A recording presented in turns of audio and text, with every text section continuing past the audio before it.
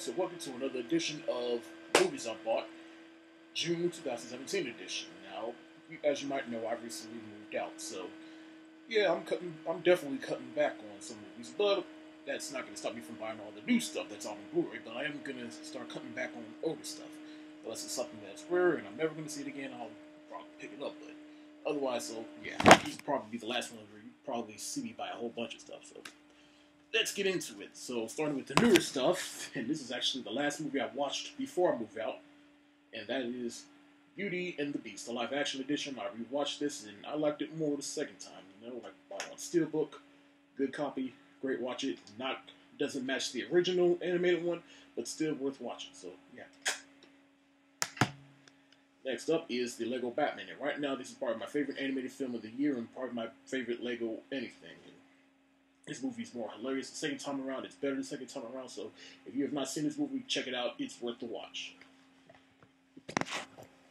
Next up is a movie I I had not seen yet, and I finally watched it, and I loved it more and more.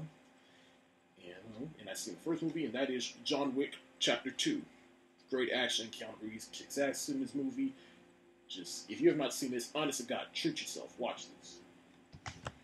Next up, I really just bought this yesterday, and that is Power Rangers, the movie.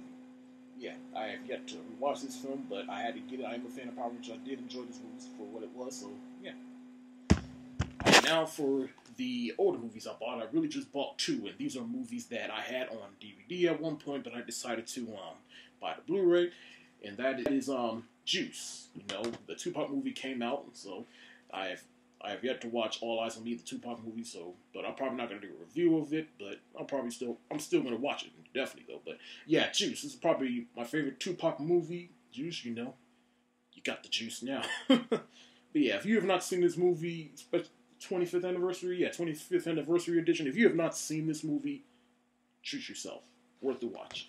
And then Lastly, I have Menace to Society, another urban classic. Menace to Society. I've, I've never watched this movie until a couple years ago. One of my best friends got me hip to it. I watched it and loved it, so had to cop this. And so these are all the movies I bought on Blu-ray during the month of June 2017.